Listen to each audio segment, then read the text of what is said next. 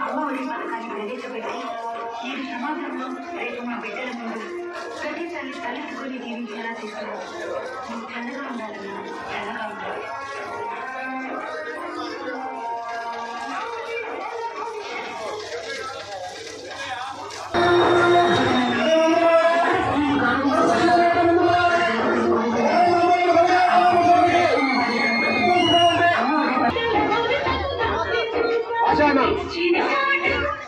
ఆంధ్రప్రదేశ్ ప్రభుత్వం అమ్మఒడి పథకాన్ని గౌరవ ముఖ్యమంత్రి వర్యులు జగన్మోహన్ రెడ్డి గారు ఈరోజు చిత్తూరు జిల్లాలో ప్రతిష్టాత్మక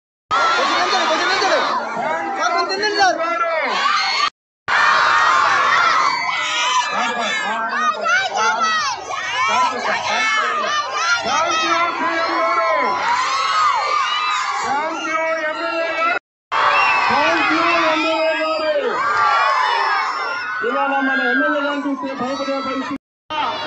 గుండ్రంగా చుట్టి మానవహారం ఏర్పరచాలని కూడా కోరుతున్నాం విద్యార్థులు విద్యార్థులందరూ మానవహారం.